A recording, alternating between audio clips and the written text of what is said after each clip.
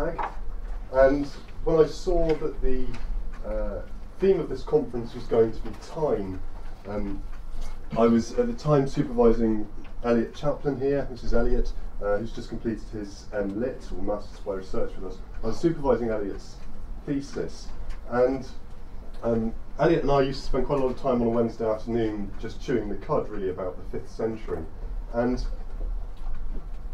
where we got to was almost harking back to some of the things I was thinking about as a master's student when I was thinking about problems of periodization, the problems of the structures uh, of time that we work with as archaeologists. And thus, when this conference came up, theme of time, I thought uh, it was a good moment to um, come and try and put a session together that thought about the 5th century and all of its problems from a theoretical perspective. So, one of my starting points for this uh, is, was really Gavin Lucas's book. It's quite old now, back in 2005. But Lucas, I think, had some useful things to say about time and periodization. So, he points out that periods allow us to divide and understand and organise the past, and that our periods tend to be an ordinal system. They have direction and they are relative. And I think that's important too. So when we split up our time into periods, what we're doing is we're producing periods of different lengths, but follow one after the other. Now, at the same time, we've known for a very long while that our periods are constructions. They are, um, as Collingwood back in the 1920s said, uh, they're arbitrary fabrications, a part torn from its context. Um, and yet, we have to work with these periods and the parameters that they establish. And part of what this introductory talk is about is trying to think about what that means for the 5th century AD. Now, periods divide linear industrial time. These are all concepts we're familiar with. Um, the past is a period, the present is a period, the future is a period, if you like. And on the board here, I have the uh, I have period boundaries uh, based on English Heritage's um, units of time. And I don't, sorry, it's perhaps a little bit small at the back, but all you uh, all you really need to know is you have period names here. We've got the Iron Age, which I haven't split down into its constituent parts. We've got the Roman period, the early Roman, the late Roman, early medieval, the early Saxon, middle Saxon, and the late Saxon. Now, all of these labels are problematic. If you work in Cardiff, for instance, the utility of early Saxon as a period name um, is probably quite debatable for the 5th and 6th centuries. I think it's all Peter Guest, Peter Guest crept in. Um, I'm sure, Peter, you, you, John, you probably wouldn't uh, feel that early Saxon is very valid for Wales in the 5th century. Well, certainly not for Wales, but it is for large. For other places it is. Um, and one of, one of the things we look at, you know, one of the things uh, we can see when we look at these divisions of time is this break that runs through the 5th century. And the only, oh, there we go, which is here. So lots of our periods end and start in the 5th century. The only one that doesn't is late antiquity, and I've put that on there just as a kind of nod um, to some of the things myself and Rob Collins were thinking about more than 10 years ago. Uh, for a little while, we tried to get people to use the term late antiquity because it avoided this fault line that runs through the uh, 5th century. Now, sticking with Lucas for a moment, um, and th- this is really from a kind of personal perspective. Uh, the Archaeology of Time was published in 2005 when I was writing up my PhD thesis, and I didn't. Those of you who have completed PhDs will know, as you get to the end, you stop reading and you start writing. And this slipped, this book slipped me by, passed me by um, in 2005. But there's a certain irony when I read it a few years later, and uh, Lucas says the problem of the end of Roman Britain, how society changed after the departure of the Roman legions, is largely a fictitious problem of two incommensurable chronologies. For example, the production and certainly use of Roman pottery probably continued well into the 5th century. Um, and this was music to my ears because here's, this is the cover of my PhD thesis, September 2005, which is all about pottery in the end of Roman Britain. Um, so I was, a certain irony. Uh, so Gavin Lucas in the Archaeology of Time telling me this wasn't a problem. I just spent four years of my life writing 90,000 words on this very issue. So, for Lucas's chronology, then, the two incommensurable chronologies are the problems where you're running an ordinal system, so units of non-specific duration, relative units of non-specific duration, uh, with an interval system. You would see the Roman period as interval time. It's defined by two historical dates based on a calendar, so years. So there's AD 43 at the start, AD 410 at the end. And he would see our problems with both the beginning and the end of the Roman period as being related to how those, um, how the two ends of the Roman period dovetail with the ordinal Iron Age or early medieval periods. So, if we move then perhaps from how Lucas has thought about time to thinking about the 5th century, what's sometimes referred to as the 5th century problem. And the 5th century has many problems, and some of us in this room spent too much of our lives worrying about them, I suspect. Um, the, the challenge of the 5th century is it is phenomenally elusive archaeologically. And we would all, I think, accept that in Britain. And what we've tended to do, I think, is create model, you know, one size top down models that explain why the 5th century is elusive. So you go, well, the 5th century is elusive because the Roman Empire falls, that brings about social and economic and political collapse. Everybody disappears, lives in an invisible fashion.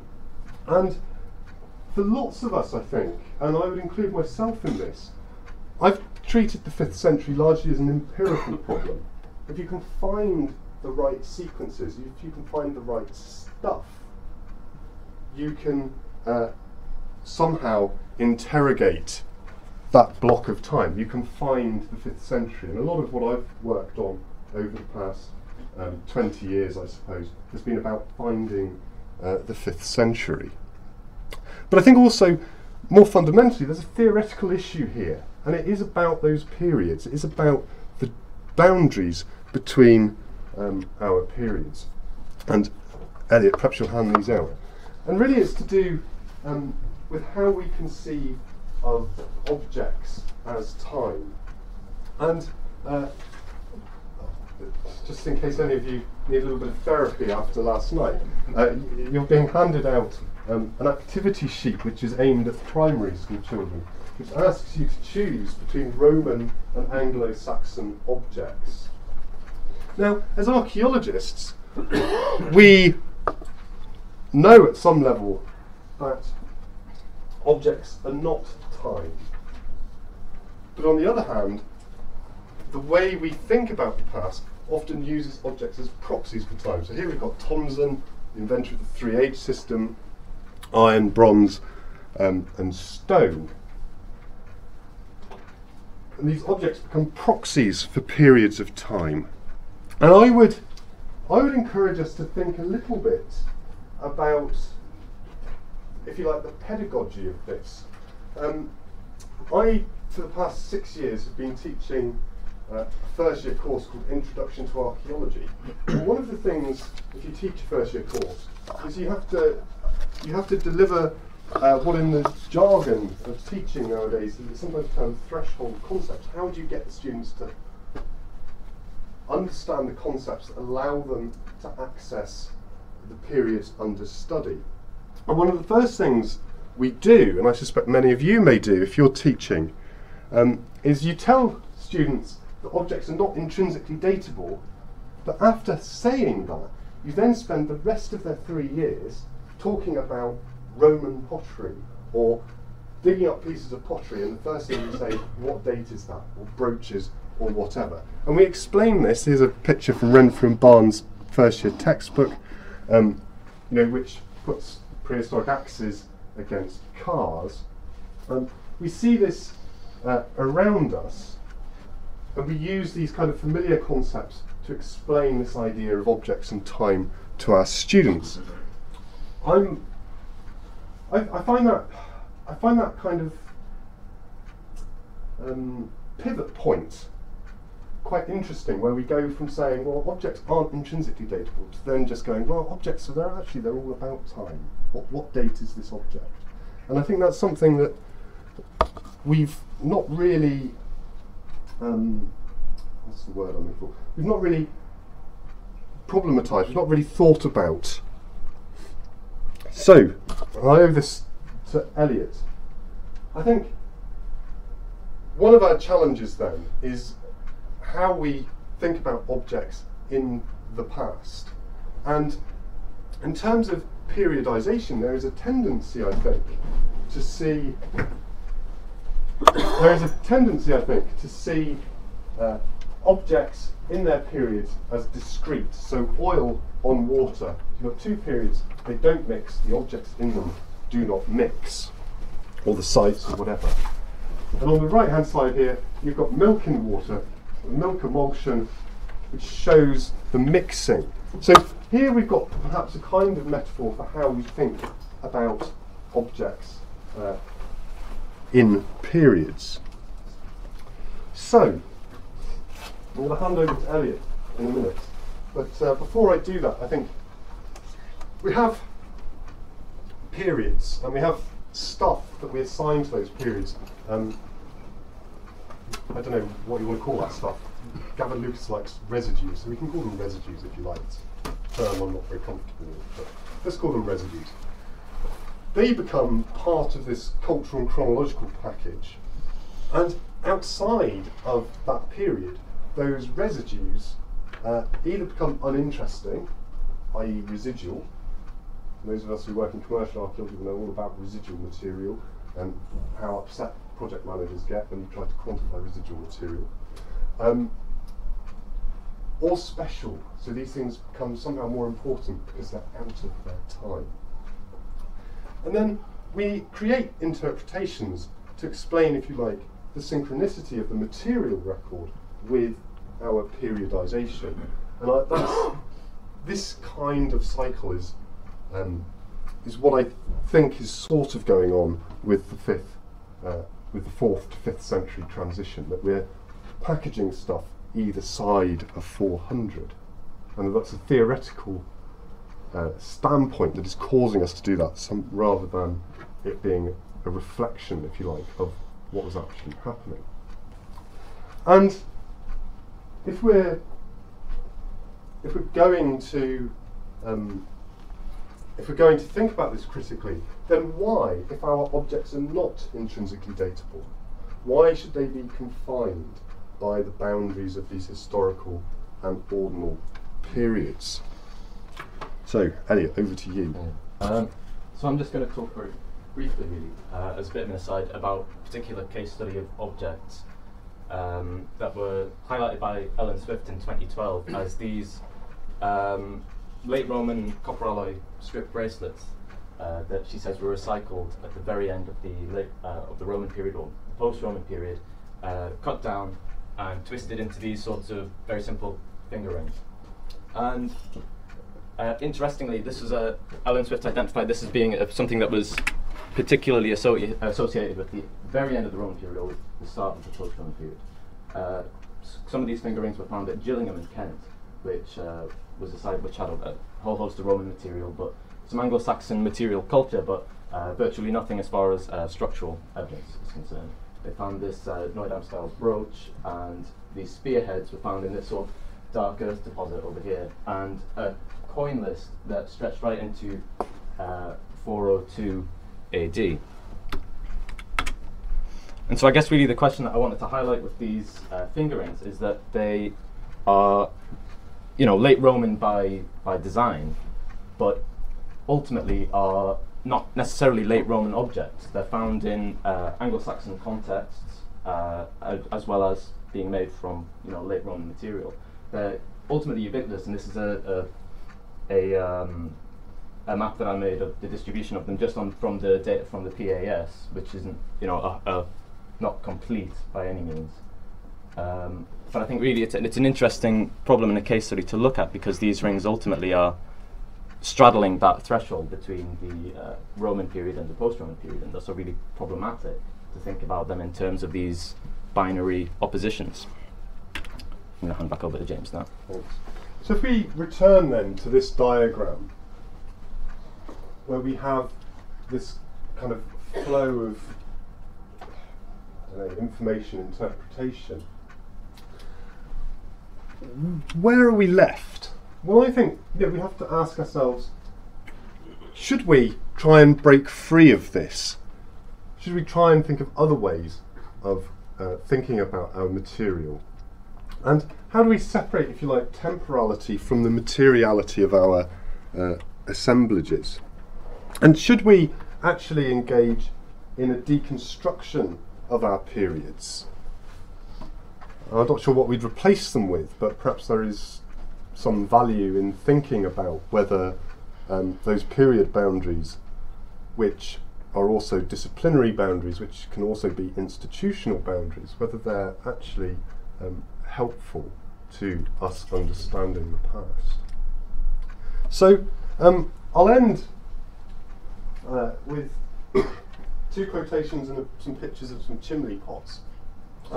So back in 2007, Witmore's um, Manifesto on Symmetrical Archaeology uh, talked, um, and I know Elliot likes this, talked about how time is turbulent and time percolates, and how pasts are regarded as not exclusively past. And something of the past exists in the material here and now. It's accorded action, and multiple pasts continue to mediate aspects of people's lives in a multiplicity of ways today. Now, um, one of one of the things I like about archaeology is that we're meant to be able to see the longue durée. And when I read that quotation, I was reminded of something that Philip Rahtz had written way back in 1982, which in rather less words says much the same thing. And he said, We must imagine that they, this is the Dark Age um, inhabitants of Somerset, uh, where's Howard? When we could still use the term Dark Age.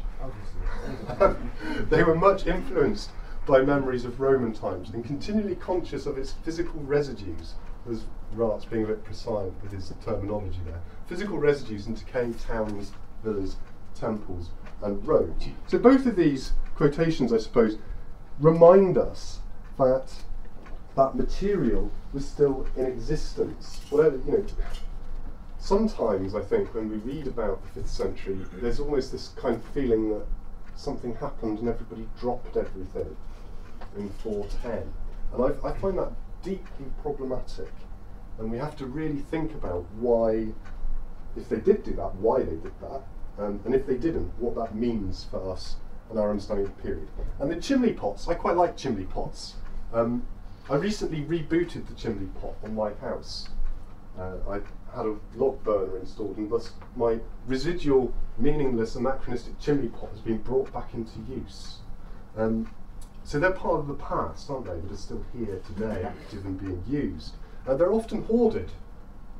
Think of our architectural salvage yards. You can think of hoards of chimney pots. These are kept until because they have some value and people use them for things. And sometimes they're reworked, reimagined in completely different ways uh, today as garden ornaments or whatever. So I think chimney pots are quite a useful way of thinking actually about some of the uh, Roman stuff in the fifth century. Is it being used? Is it being stored, maintained, reworked? Is it being repurposed, refashioned, understood in a new way? And